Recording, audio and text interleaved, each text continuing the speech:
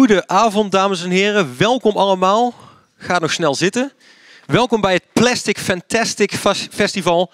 Dat uh, georganiseerd is door Radboud Reflex hier in het Valkhof Museum. Mijn naam is Rob van der Ven en ik werk als programmamaker bij Radboud Reflex. En u gaat zo dadelijk luisteren naar een lezing van Ad Ragas. Ad Ragas, hoogleraar Milieu- en Natuurwetenschappen aan zowel de Open Universiteit in Heerlen als universitair hoofddocent aan de Radboud Universiteit. En hij gaat zo dadelijk een lezing geven uh, over plastic, over de vervuiling van de oceanen en wat wij daaraan kunnen, of moet ik misschien zelf zeggen, wat wij daaraan moeten doen. Um, voordat Ad een uh, lezing gaat geven, uh, komt Helena Hogekamp eerst een korte voordracht geven. Uh, en zij is hier namens uh, Wintertuin, die uh, optreedt als de poëziecurator van vanavond.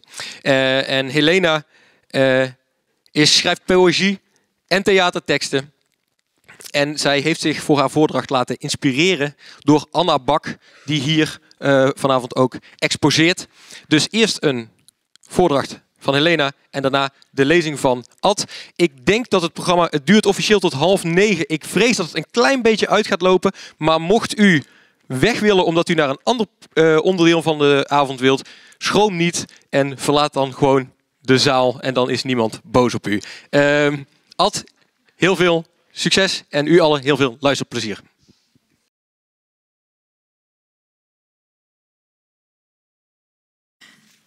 Hallo, ben ik verstaanbaar? Top. Plastic Fantastic. Wie eet wie? Ik eet een condoom. Die zit om de penis van een jongen en smaakt naar banaan. Over de samenstelling van chemische bananensmaak wordt vaak gezegd dat deze is gebaseerd op de Gros Michel banaan, die bijna uitstierf in de 20e eeuw. Zijn schimmelresistente vervanger, de Cavendish, is de banaan die het heeft overleefd en die wij nu allemaal kennen. De Cavendish smaakt anders en daarom zou bananensnoep niet naar bananen smaken. Dat is een populair verhaal, maar het blijkt niet waar. Bananensmaak wordt namelijk samengesteld uit isoamylacetaat. Dat is een naar bananen ruikende samenstelling, heel goedkoop om te produceren, veelzijdig. En wanneer je hem verdunt, smaakt hij naar peren. Dus bananencondooms smaken niet naar een uitgestorven banaan, maar naar een mengeling van peer, banaan en intimiteit. Bij de ethos zijn de condooms in de aanbieding. Intimiteit 1 plus 1 gratis. En hiernaast hangt een bordje met de tekst: Helaas, dit product is uitverkocht. Op de basisschool heb ik geleerd dat plastic wordt gecreëerd uit fossiele brandstoffen. Ik eet een dinosaurus. De eigenaar van de penis vraagt of ik dat lekker vind. Ik raak in de war van die vraag. Vind ik het condoom lekker smaken of de bananengelei die net uit dat pakje is geblubberd of hem? Maar hem kan ik niet proeven, want daar hebben we dus net vakkundig voor gezorgd. De aarde is net een stortbak. Als je hem doortrekt, heeft hij een tijdje nodig om weer vol te lopen. Dit gaat gepaard met gesuis in de leidingen, veel geraas als je dan aan dat zilverkleurige kettingje trekt. En op Earth Overshoot Day hebben we alle grondstoffen opgebruikt waar de aarde een jaar voor nodig heeft om die weer aan te vullen. Dus de eerste keer dat dit gebeurde, op 31 december 1986, heeft de mensheid te vroeg aan het kettingje getrokken voordat de stortbak weer vol was. Daarna viel deze datum elk jaar vroeger, behalve in 2009, wat men weet aan de wereldwijde economische recessie. We hebben daar de grondstoffen, grondstoffen opgebruikt voordat de aarde nieuwe heeft gegenereerd. En dan beginnen we noodgedwongen aan onze fossiele voorraad. Maar vanaf 2010 werd er een nieuwe rekenmethode gebruikt voor Earth Overshoot Day waaruit blijkt dat we al sinds 1981 onze voorraden te vroeg aanspreken en dat de crisis hier geen invloed op heeft gehad. Dus wat de mensheid eigenlijk doet, is sneller uitgeven dan er nieuw salaris binnenkomt en verder winkelen terwijl we in het rood staan. We kopen op de pof bij het milieu. En de milieucrisis lijkt zo op de kredietcrisis, waarvan we nog steeds niet snappen hoe die precies is ontstaan. De achterliggende oorzaken van deze crisis waren zo complex dat het nagenoeg onmogelijk is om helder en volledig een beeld van de situatie te krijgen. En analyses, analyses van de problemen en de fundamentele oplossingen waren vaak gericht op een beperkt afgebakend onderdeel van deze crisis. Zodra je inzoomt, wordt iets behapbaar. Mensen gebruiken beelden om het complexe inzichtelijk te maken.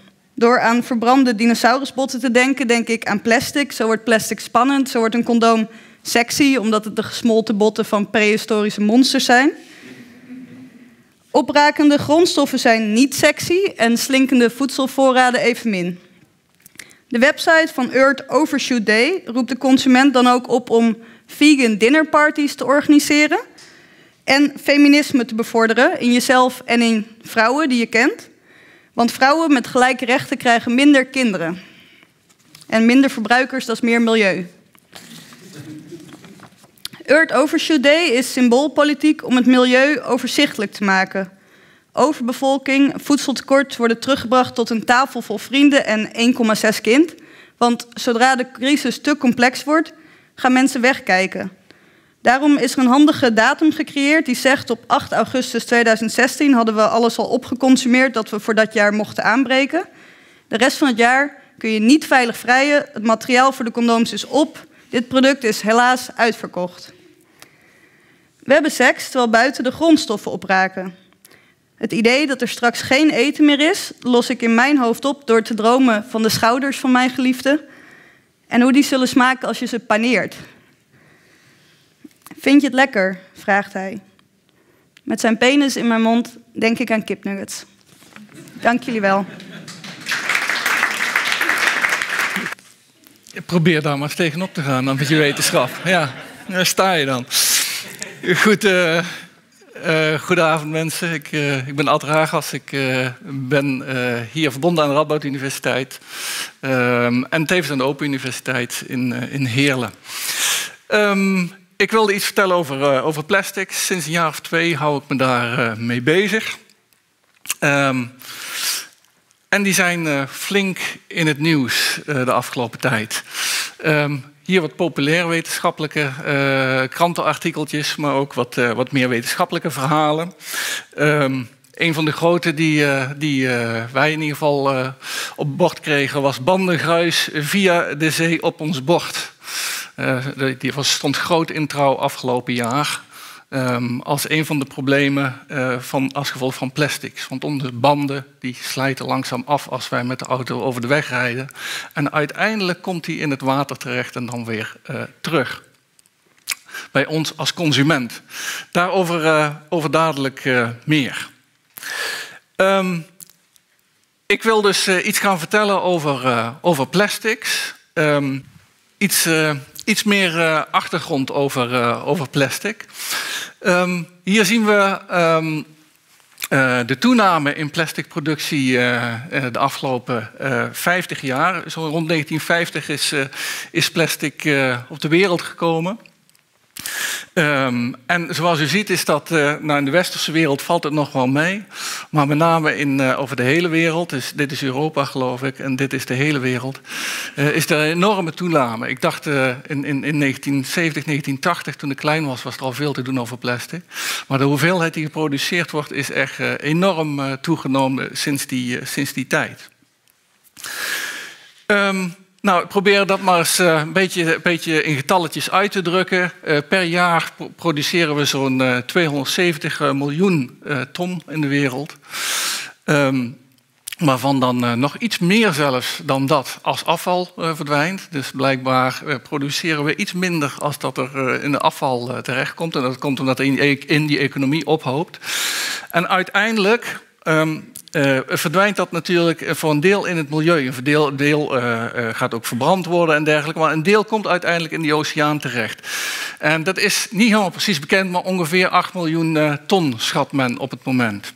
probeer het te onthouden, ik overhoor u dadelijk. Dus probeer het te onthouden. en op dit moment, de beste schatting van wat er in de zee zit, is zo'n 80, 80 miljoen ton. Ook dat getal alstublieft even onthouden, want ik, ik kom er dadelijk op terug. Um, 80% van wat er uh, in de zee zit, komt van landbronnen af. Dus komt via het land uiteindelijk, via onze rivieren en dergelijke, in de zee terecht. En zo'n 20% van wat er in de zee ronddrijft, komt uh, via afval uh, van schepen. Um, dat is het, het, het grote plastic, denkt u misschien. Maar eigenlijk misschien nog wel belangrijker als dat grote plastic is het kleine plastic. Dat noemen wij de microplastics. Daar ziet u hier een, een fotootje van. En microplastics noemen wij plastic deeltjes die eigenlijk kleiner zijn als 5 mm.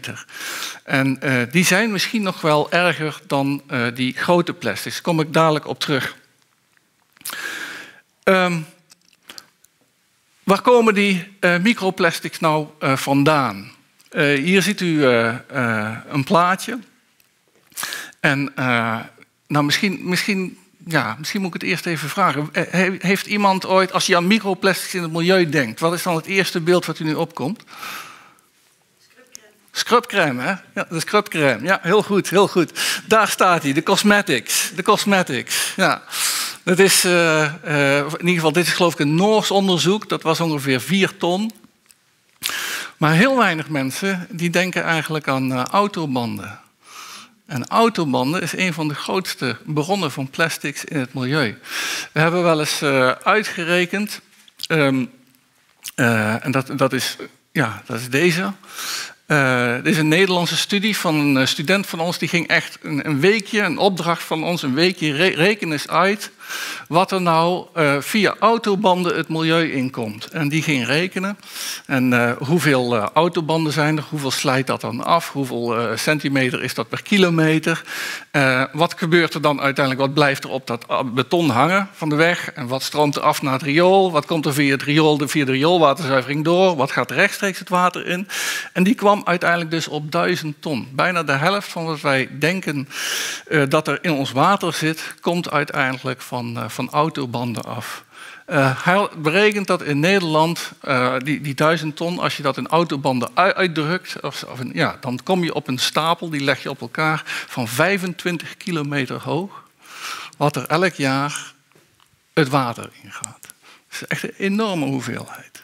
Groot probleem. Um, maar het is natuurlijk niet alleen een, uh, een, een, een nasje of een, uh, een, lokaal probleem. Het is een probleem wereldwijd. Hier ziet u een, uh, een overzicht van wat voor bronnen er allemaal zijn in de wereld. die, die gele bronnen, dat is de visserij. En de visserij die zorgen voor veel plastics in het milieu als gevolg van allerlei materiaal. Vooral de vislijnen die, zeg maar, en de visnetten die tegenwoordig allemaal van kunststof zijn. En als ze kapot gaan, ergens achter blijven hangen, dan blijft dat in het milieu uh, zitten. Of in die zee zitten. Uh, kuststreken, dat zijn de bruine bolletjes. Um, eens even kijken. De, de, rode, de blauwe, dat is uh, ondoordringbare bodems afvloeiing van, van asfalt onder andere. Dat is dus die autobandenslijpsel, zoals wij dat noemen. En uh, een deel, de bruine, de, de grijze bolletjes, dat, zijn, uh, de, dat is de scheepvaart. Want ook de scheepvaart laat natuurlijk afval achter. Ik kan me nog herinneren dat ik... Uh, ik ben eens ooit op een tripje geweest, ver naar het zuiden, helemaal naar de Zuidpool toe. En uh, dat duurde dan drie weken met zo'n bootje. Maar ja, wat moest die beste schipper met dat afval doen? Ja, nou, die, die mocht dat niet lozen in, in, in het Antarctisch gebied. Nou, we kwamen de Antarctische cirkel uit en daar gelden geen strenge regels meer. En hups, het ging allemaal de zee in. Dus, uh, nou... Uh, en dat, dat, ik verbaas me daar als milieukundige heel erg over, maar blijkbaar is dat heel erg normaal in, in bepaalde streken in de, in, de zee. Dus daar, daar gebeurt, komt dat ook uh, vandaan. Goed, dat, dat plastic uh, dat komt dus uiteindelijk via al die processen in de, in de zee terecht. En daar gaat het allerlei, omdat het zo lastig afbreekbaar is, blijft dit in die, in die zee hangen en gaat het uh, ronddraaien en rondcirculeren. Ik weet niet of je er wel eens van gehoord hebt, maar uh, ik weet eigenlijk de grote, grote Nederlandse term, weet ik er niet voor. Maar hier zitten de, de zoals ze die noemen. De draaikolk eigenlijk, dus de rondstromingen van de zee. Waardoor dat plastic zich op bepaalde plekken uh, concentreert. En uh, daar komt eigenlijk de term plastic soep vandaan. Hè? Dus die draaikolken, daar blijft dat plastic in hangen. En op sommige stukken in de wereld, met name rond uh, Hawaii, wat hier ergens voor de kust ligt van de Verenigde Staten, daar is een hoge concentratie van, van plastics aanwezig. Uh, nou moet u niet denken als u daar voor de kust van Hawaii eh, bent, dat u denkt van nou, dat zit hier helemaal vol met plastic, dat valt best mee. Maar relatief gezien, als je dat gaat bekijken, dan is het aantal plastic deeltjes wat daar in de zee drijft op het moment twee keer zo groot als het aantal biologische deeltjes. Dus voor elk eencellig organisme wat daar ronddrijft, drijven er twee plastic deeltjes rond. Dus voor elk, dat, dan, dan kun je dat een beetje in verhouding uh, zien. Goed, maar wat gebeurt er nou uiteindelijk met dat plastic? Als je een fles in de zee gooit, en dit geeft wel een aardig beeld, dan wordt die langzaam eh, afgebroken. Ehm, maar dat duurt lang. Ehm, en dat hangt een beetje af van wat voor, uh, voor, materiaal die fles gemaakt is, hoe lang dat duurt. Maar dat kan ergens tussen de, de 5 en de 500 jaar duren. Dus dat duurt echt enorm lang. Of dat kan enorm lang duren. En uiteindelijk dus dan denk je van die plastic dat verdwijnt, maar dat worden dus hele kleine deeltjes. En dat is misschien nog wel veel belangrijker als die grote deeltjes. Daar zal ik eigenlijk eh, nog iets van laten zien. Nou, zoals ik al zei, um, um, uh, die, plastics worden afgebroken en het hangt een beetje af van wat voor materiaal je hebt, hoe lang dat duurt. Um, een van de snellere, uh, eens even kijken, uh, nou, een sigarettenpeuk, toch nog steeds 1 tot 5 jaar. Deze is trouwens ook uh, op de tentoonstelling hier te zien, alleen dan in het Nederlands. Ik ken hem alleen maar in het, uh, in het Engels. Um, deze is vrij berucht, die zien we dadelijk nog terug, denk ik. De Six-Pack Ring. Dat is zo'n plastic uh, omhulsel van zes pakjes bier, zodat je als je in de, supermarkt pakt, ze makkelijk lekker tegelijkertijd die blikjes vast kunt, uh, mee kunt nemen. En dan buiten kunt gaan picknicken en dat stukje plastic dat blijft dan meestal achter in het milieu en dat komt uiteindelijk in die, in die zee terecht. Um, ehm, 400 jaar, 400 jaar als, uh, als tijd om af te breken. Um, goed, um, wat betekent dat nou uiteindelijk? Nou, ik, ik ik vond dit is ooit een Excel-spreadsheetje, wat heb ik gemaakt. Ik duik dadelijk weer even weg achter mijn computer en dan laat ik hem even, even zien. Um, maar die vind ik altijd nog heel illustratief. Uh, dus ik, ik, hoop dat die werkt. Eens even kijken of jullie nog goed onthouden hadden um, wat, wat, voor getalletjes ik in het eerste plaatje liet zien. Uh, aanwezig in de oceanen. Um, dat is op het moment ongeveer 80 eh, miljoen ton aan plastic, wordt geschat. De schattingen lopen wat uiteen. Um, als je weet hoeveel erin zit, ergens in een bakje, en je weet hoeveel, uh, hoeveel er binnenkomt, en je weet hoeveel eruit gaat, kun je een zogenaamde massabalans opstellen. Dat is in ons vakgebied heel normaal, dus dan berekenen we van dit komt erin, zo groot is het volume en dat stroomt eruit. Nou, wat u, wat u hier ziet is, uh, is wat erin zit al in de oceanen. Geschat wordt uh, aan plastic 80 miljoen ton. En dit is het vakje dadelijk uh, waar staat hoeveel erbij komt elk jaar. Um, en dit is die verdwijntijd voor plastic. Hoe lang duurt het eigenlijk om die plastics af te breken? Nou, um, ik weet niet of iemand dit getalletje nog onthouden had van straks. Hoeveel komt erbij elk jaar? 8 miljoen ton, 8 miljoen ton. Dus ik ga dat getalletje veranderen. Moet u even op dit plaatje letten, want dat vergeet ik te vertellen hier. Uh, deze dit plaatje geeft aan wat er gebeurt met de concentratie plastic in de zee als dus er 80 miljoen ton al in zit. Dat is, dit dat is deze lijn, dat is die bovenste lijn, dat zit er al in. Um, en wat er gebeurt met dat plastic als het ongeveer 10 jaar duurt voordat de helft afgebroken is. Nou, dan ga ik er 8 eh, miljoen ton van maken. Of per jaar.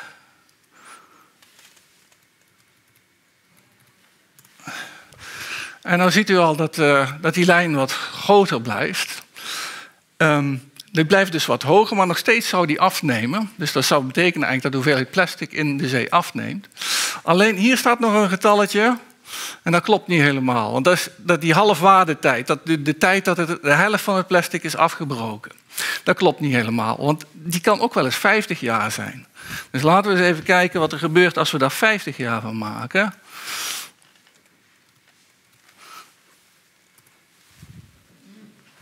En nu krijgen we toch een wat ander plaatje te zien. 2010, 80 miljoen ton.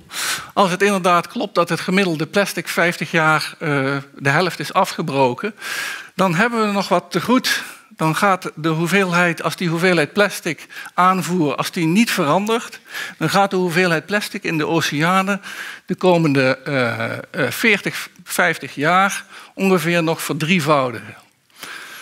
Um, zei net van uh, plastic verdwijnt niet. En nu doet u net als plastic wel verdwijnt. Ja, het verdwijnt wel. Het duurt alleen heel lang. Het hangt, dus, het hangt dus heel erg af van wat voor plastic je precies hebt. Maar het verdwijnt, het, alles, alles kan afgebroken worden in deze wereld. Alles.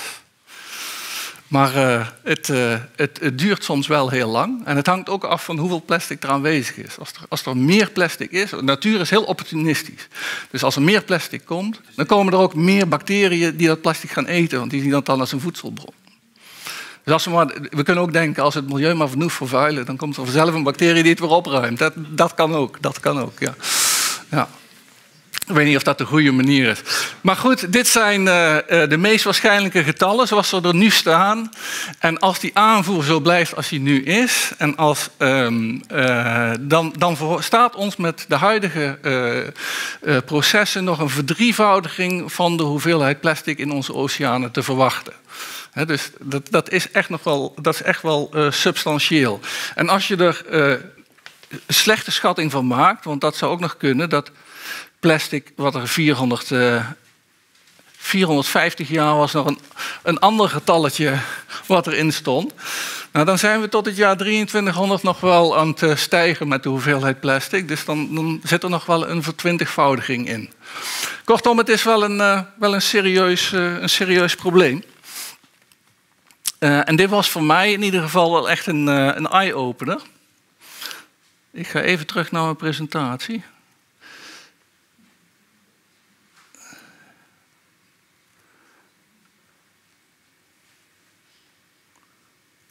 Goed. Um, de volgende vraag is natuurlijk, is het erg? Is het erg dat al die plastics in ons water ronddrijven? Nou, deze doet het altijd heel goed, vind ik. Dit is een schildpad die toen hij klein was gevangen is in zo'n sixpack ring. En uh, door is gegroeid en eigenlijk er helemaal omheen is gegroeid. Dus hij heeft nog steeds die plastic ring van toen hij klein was in uh, onze middel. En hij is er gewoon helemaal omheen gevormd. Nou, deze, deze, die foto is echt heel de wereld uh, rondgegaan. Die doet het ook erg goed in de, in de publiciteit. Ja, mijn persoonlijke mening is, als dit het probleem was, dan, uh, dan had ik hier niet hoeven te staan. Want die ene schildpad die in een stukje plastic verstrikt raakt, daar zal ons ecosysteem niet van kapot gaan, is mijn persoonlijke mening. Hoe erg ik het ook vind voor die ene schildpad. Het wordt al wat erger als we gaan kijken naar, uh, naar vissen die gevangen worden. Hier zie je een, vis die gevangen is en opengesneden is en allerlei stukjes plastic in zijn maag heeft. Uh, of hier, dit is een uh, Noorse stormvogel, geloof ik. Het lijk, en die is helemaal uit elkaar gevallen. Je ziet hier zijn snavel nog. Maar uit onderzoek is gebleven dat 85 of 95 procent van de Noorse stormvogels die gevonden wordt de wereld plastic in zijn buik, buik heeft. Um, en dat leidt tot problemen, voor in ieder geval voor die soort. Omdat die, dat plastic in die maag leidt tot het gevoel dat hij uh, zeg maar geen honger meer heeft, want hij heeft iets in zijn maag. Hij eet niet meer en hij gaat dood. Nou. Ook heel zielig, zou ik willen zeggen. Uh, niet goed voor het milieu. Maar toch vind ik dat nog niet zo heel, heel erg. Uh, wat, ik, wat, ik, wat ik me meer zorgen over maak zijn dit soort dingen. Uh, komt weer een filmpje, als het lukt.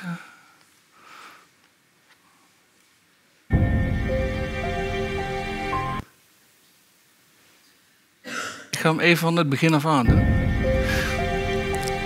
Dit is plankton. Hij is moeilijk te zien. De groene stipjes, dat zijn kleine plastic deeltjes. En dat plankton dat genereert eigenlijk een stroming om algjes op te eten. Maar met die algjes krijgt hij dus ook plastic deeltjes binnen.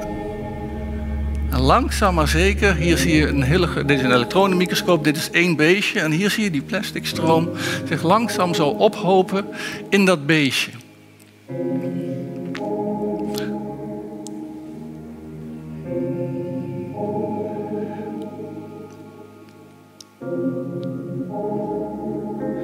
En hier zie je dan hoe die beestjes uiteindelijk helemaal vol zitten met plastics. Nou, dit, dit is een kunstmatig gemaakte opname, dus in een Petri-schaaltje, in een klein schaaltje met die plankton erin. Dit is niet echt in de zee opgenomen. Maar je kunt je wel voorstellen dat die uh, plastics, als die dus in die beestjes komen, dat die uh, daar allerlei processen ook gaan verstoren. Dus niet alleen in die, in die grote uh, meeuwen of die, die Noorse stormvogel, maar ook in onze plankton. En dat is wel de basis van ons bestaan. Dus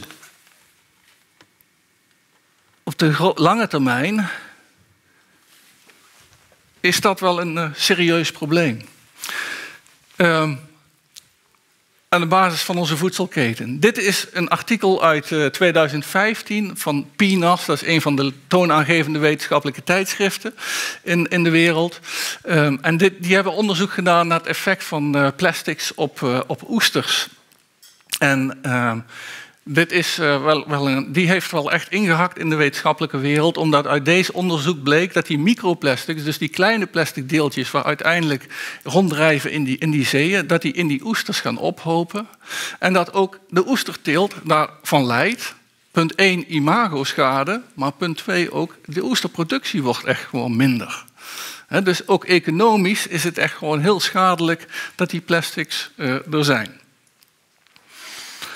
Um, iets wat je nog in ieder geval veel hoort, ook in het nieuws, is uh, dat er in de plastics veel chemische stoffen zitten. Dat klopt. Ik ben daar zelf uh, wel wat, wat minder, ik ben daar wat minder bang voor. Uh, wat er gebeurt met die plastics eigenlijk, het plastic moet je zien als een spons. En die gifstoffen die zeg maar in het milieu drijven, die gaan in dat plastic zitten. Als nou dat plastic wordt opgegeten door een organisme, dan kunnen die, plastic, die gifstoffen dus ook weer in dat organisme komen. Nou, dat is eigenlijk een beetje theorie. Hè? Dat is wat dit plaatje probeert weer te geven. Al die namen, dat zijn allemaal stofjes die in het milieu ronddrijven. En die gaan uiteindelijk in dat plastic zitten. En als je dat dan opeet, zou je daar ook van vergiftigd raken. Nou, ik, ik vind het een mooie theorie. We hebben daar wel eens ook wat berekeningen aan gedaan als wetenschappers. Maar wij denken uiteindelijk, in ieder geval binnen onze groep hier in Nijmegen, eh, dat dat, dat eigenlijk wel meevalt. De hoeveelheid plastic die je via, of de hoeveelheid gifstoffen die je via die weg maximaal binnen kan krijgen, die is eigenlijk toch vrij klein. Dus wij denken persoonlijk dat dit wel, wel mee zal vallen. Deze vond ik ook wel uh, vrij dramatisch. Dit is, uh, ik weet niet of jullie deze rivier kennen, dit is Indonesië, Java. Uh, de meest vervuilde rivier ter wereld, de Citarum. loopt vlakbij Jakarta. Um, maar het zijn natuurlijk ook dit soort uh, tafereelen die, uh, die best wel uh, triest zijn als het over, over plastics gaat. En dat, dat is ook de economische impact die het heeft. Deze rivier is zo vervuild dat de vissers tegenwoordig daar dus geen vis meer kunnen vangen, want die vissen zijn allemaal dood. ze hebben wel een nieuwe andere bron van inkomsten gevonden, Namelijk, ze vissen de hele dag plastic flessen uit het water. En dat is echt hun, hun dagvoorziening. Ze zijn wat achteruit gegaan. Vroeger verdienden ze 6 dollar per dag, tegenwoordig nog 3 dollar per dag. En tegenwoordig verkopen ze dus de, de plastic flessen aan de afvalinzamelaars. En vroeger verkochten ze hun vissen op de markt. Um, dus de economische schade van, van plastic is ook, uh, ook goed, groot. Nou, dit is een beetje een, een, plaatje om aan te geven van wat zijn nou precies of ongeveer de impacts. Hè. Uh, het toerisme, vergeet het niet, een belangrijke industrietak op de wereld. Uh, zoals ik jullie straks liet zien, die stromen van plastics over de wereld, die brengen veel van dit plastic naar Hawaii toe. En die kust van Hawaii, het strand van Hawaii, moet echt elke week worden schoongemaakt, omdat er zoveel plastics via die stroming aankomt. Um, dingen als uh, elektriciteitsgeneratie. Er is veel koelwater voor nodig om die in de generatoren af te koelen. Maar er zit zoveel plastic in, dat, moet er allemaal, uh, dat kan verstopt raken, dat moet er allemaal uitgehaald worden. Um, nou, vissen hebben we het over gehad, de aquacultuur hebben we het over gehad. Uh, uh, hoe heet het, schepen die verstrikt raken in plastics als gevolg van, de, zeker bij motorboten die, die, die draaien. En daar komt iets plastics in. Allemaal enorme hoeveelheden schade die dat tot gevolg kan hebben. Laatste vraag, wat kunnen we er tegen doen? Wat kunnen we er tegen doen? Ehm, wat oplossingen? Kennen jullie deze jonge man? Boy in Slet, hè, wereldberoemd. Uh, Nederlandse jongen van Griekse afkomst die, uh, die bedacht heeft om een installatie in zee uh, te bouwen, de zogenaamde Ocean Cleanup. En zijn hogere doel is om dat plastic uit, uit de zee te halen via een ingenieus systeem. Prachtig, prachtig bedacht. Ik, ik kan alleen maar respect voor hebben. Ehm, maar ik ben wel enigszins cynisch over de realiteitsgehalte van deze oplossing. Want als, als hier als we al dat plastic uit die zee moeten gaan filteren, dan, uh, dan gaan we de oorlog echt niet, uh, echt niet meer winnen, volgens mij. Hij heeft het prachtig gedaan in de zin van het agenderen van het probleem, het politiek op de kaart zetten van het probleem. Maar de oplossing die hij denkt te bieden, daar ben ik vanuit een wetenschappelijk oogpunt nogal, nogal cynisch over. Um, recyclen. Ja, deze vind ik ook wel mooi. Dus, dit is uh, Nairobi, die, die, die, man die hier, die zit in Nairobi. Um, en uh, daar hebben ze er gewoon een bron van inkomsten van gemaakt. Want die mensen die daar de hele dag niks te doen hebben en arm zijn, die daar langs de zee lopen, wat doen die? Die halen al die teenslippers uit die zee. En die teenslippers die verzamelen ze daar. En dan zijn er een paar mensen zo slim geweest om die aan elkaar te gaan plakken en beeldjes van te maken. Dus ik, ik dacht, ik neem er eentje voor jullie mee. Om even te laten zien. Ze zien er echt fantastisch uit. Dus uh, um, ik, het is zo jammer als we dat plastic probleem oplossen dat die mensen zonder baan zitten alleen. Hè? Dat, is, ja. Dat, ja. Um, goed. Verbieden. Misschien is dat uh, de goede oplossingen. Um, ik denk zeker dat dat voor een aantal dingen heel goed is. Hè? Het plastic, zakjesverbod, uh, wat er tegenwoordig uh, steeds meer inkomt. overigens, weten jullie welk land het eerste en het grootste daarmee is, of niet? China, hoor ik hier. Het verbod van plastic tasjes. Canada hoor ik al. Oh, mooi. Nou, je zou het niet zeggen Rwanda, mensen. Rwanda. Als je in het vliegtuig naar Rwanda gaat en je komt aan en je komt bij de douane, dan mag je je koffer openmaken en dan worden al die plastic zakjes eruit gehaald. Dus, uh, ja, en in Rwanda hebben ze één dag per week dat iedereen uh, mee moet helpen om de straten schoon te maken. Dus die foto die hierboven staat is van Rwanda, daar zijn de straten prachtig schoon. Ik weet niet of die oplossing bij ons gaat werken. Wat ik wel wil vertellen in ieder geval is dat het verbieden van plastic in zijn algemene zin in deze wereld, dat, dat is een illusie. Plastic is zoveel gebruikt voor zoveel toepassingen. Dat is echt niet te doen. Je kunt natuurlijk een aantal open toepassingen wel proberen te verbieden, maar een totale verbod op plastics is echt ondenkbaar in deze wereld. Um, vermijden is een andere oplossing. Hè. Uh, reduceer, probeer eigenlijk in plaats van als je naar de winkel gaat je, plas, je zak te kopen, probeer je eigen zas mee te nemen. Dat is natuurlijk goed. Probeer uh, uh, te reduceren, hergebruiken. Allemaal uh, oplossingen die werken. Maar uiteindelijk zullen ze niet leiden dat, tot dat plastic niet meer gebruikt wordt. Marktwerking, die vind ik ook wel mooi. Hè? Ik weet, kennen jullie deze actie of niet? Ooit van gehoord? Beat the Microbeat. Het is een app die je voor je mobiele telefoon kunt, uh, kunt uh, downloaden, gratis. En daarmee kun je de barcode van een product scannen in de supermarkt. En dan kun je zien of er microplastics in zitten. Dus met name voor cosmetica-projecten, de scrubcremes. Als je wil weten van zitten er microplastics in, download hem. Hij is van de Plastic Soup Foundation, een uh, NGO die erg actief is op het gebied van, van plastics. Maar marktwerking werkt in meerdere opzichten. Ook, ook in dit voorbeeldje, ook bij de sixpack wings. Ik dacht toen ik uh, een jaar geleden uh, bezig begon, ook een presentatie voorbereiden over plastics. Ik dacht van, ik ga even een, een, sixpack ring halen in de Albert Heijn. Dus ik loop de Albert Heijn binnen en ik kijk daar. Maar er is echt tegenwoordig geen sixpack ring meer te vinden. Dus die foto van die, van, van, die, van die schildpad die verstrikt raakt in zo'n uh, sixpack ring die, die, die werkt prachtig. Die, die werkt bij die, die, die fabrikanten van blikjes, die gaan ook op een gegeven moment nadenken. Als wij daarmee geassocieerd worden, hè, dan moeten we dat gewoon niet meer gaan produceren. Dus die, die sixpack rings die vind je hier echt niet meer in de supermarkt. En dat komt alleen door dat fotootje eigenlijk van, van dat schildpadje. Dus dat is, marktwerking kan ook wel een oplossing zijn. Nou, de meest gehoorde oplossing, en als ik vandaag één boodschap mee mag geven, dan is dat deze. Geloof niet in afbreekbaar plastic, dames en heren.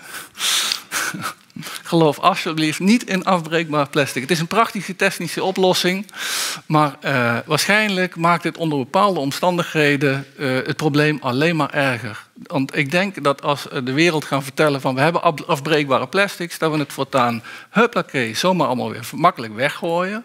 En als het op bepaalde plekken terechtkomt, zoals in de diep, diepe zeeën, waar geen licht is en waar het koud is, dan duurt het nog steeds. dat breekt wel af hoor, als je er zonlicht op zet en uh, uh, als het warm is. Dat gaat prima, maar het breekt niet af in de zee op bepaalde plekken. Dus afbreekbare plastics, laten we het alsjeblieft vergeten. Er is een heel kritisch rapport uit van de UNEP op dit moment, die daar uh, echt gehakt van maakt, om het zo maar te zeggen. Um, bewustwording, dat is naar mijn idee de enige oplossing die echt werkt. En uh, in dat kader ook, uh, heb ik uh, sinds, sinds een jaar geleden een grote cursus ontwikkeld, een zogenaamde MOOC. De jongeren van de universiteit die aanwezig zijn, die zullen dat wel, wel weten wat een MOOC is. Een massive open online cursus waarin je eigenlijk vanuit heel de wereld deelnemers krijgt en die gratis toegankelijk is meestal. En waarin je dus uitlegt over wat plastics precies doet in die wereld en wat je daartegen kunt doen. Nou, die MOOC was toen ik hem ontwikkelde samen met mijn collega's van de Open Universiteit heel leerzaam voor mijzelf. Maar wat ik het mooiste vond eigenlijk was het volgende. Um, dit, dit, was een kaartje wat wij maakten, een Google Map. En daar lieten we alle deelnemers opzetten van wat is nou plastic in jouw omgeving. En uh, ik weet niet of je het doet hier, de internet. Ik kan eens even, even kijken of die, of die werkt.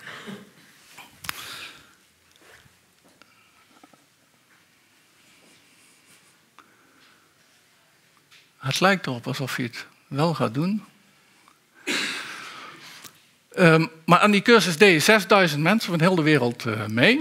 En die mochten zelf op een plek op de wereld dus opzetten van wat, heb jij nou met, met plastics? En um, dan kom je dus, ik, uh, ik heb dit verder niet. Uh,